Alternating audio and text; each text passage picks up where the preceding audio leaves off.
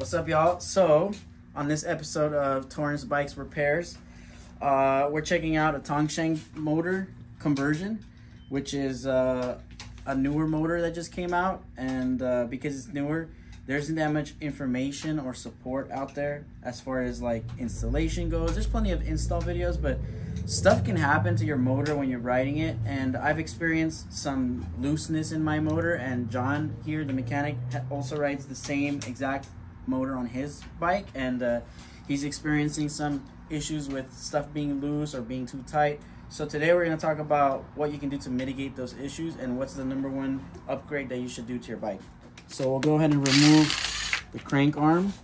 And so for that, you'll need an 8 millimeter socket and to remove this bolt. And then we'll need a crank puller to remove this. So go ahead and thread that guy in. And you can do this by hand.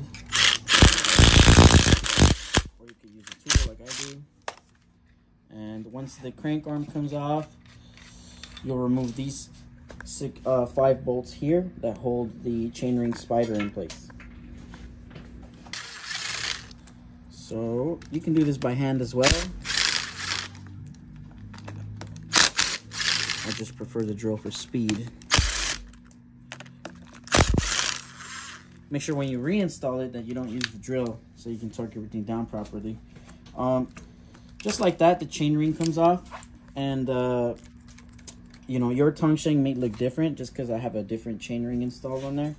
But essentially, what we're looking at spacing out is this right here. There is this C-clip here, which you have to remove using a spanner tool. And underneath it, you can see those two copper washers. Those actually came with my kit, and I installed those underneath this spindle to tighten it up.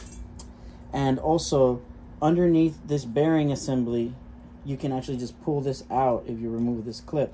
And you can install a spacer behind it, which I've also done. And I'll show you guys what that spacer looks like. So this is a drivetrain spacer kit. You can go to your local bike shop and get this spacer from almost anywhere.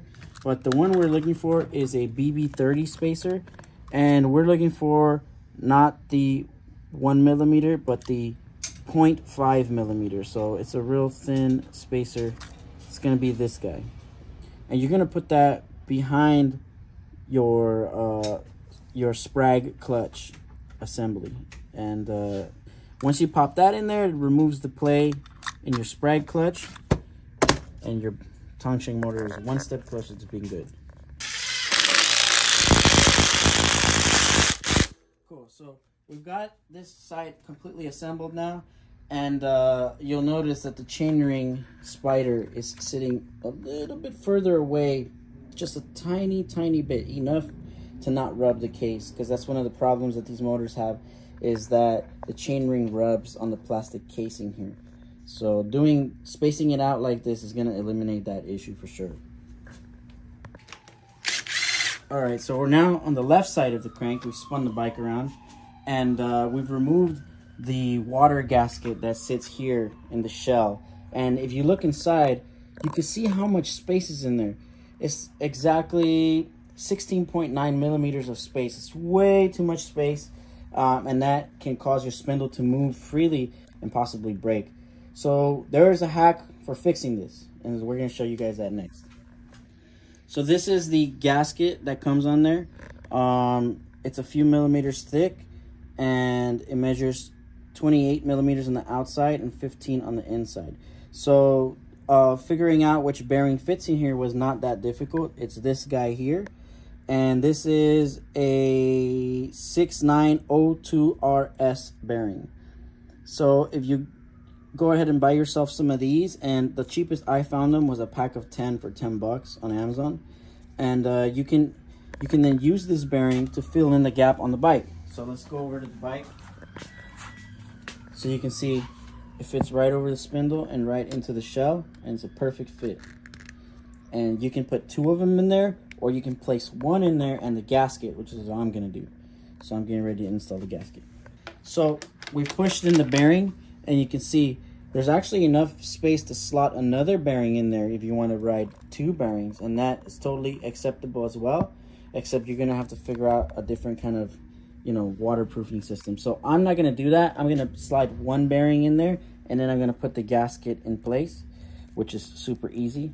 You just use a lug. I got this uh, 18 millimeter lug here, and I just pressed it in place, and done.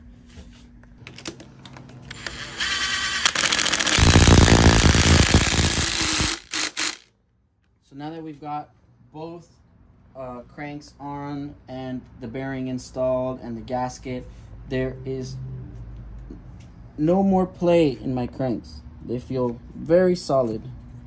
And that's exactly what we want. Um, when I first purchased this bike, I jumped it once.